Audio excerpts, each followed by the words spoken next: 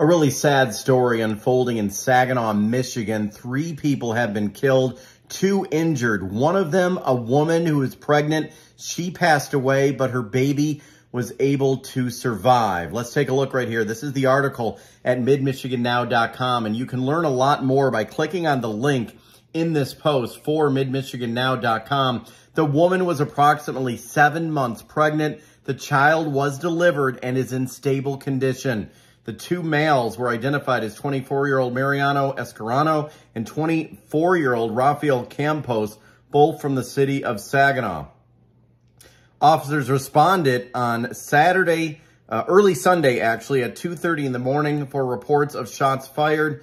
Investigators are still looking for suspects in this case. I just wanted to make this video and let you know what was going on in Saginaw. If you don't already follow me on Facebook, you need to do so. Go ahead, follow me here on my page. I'll bring you updates as I get them. Prayers to all the family members of those involved.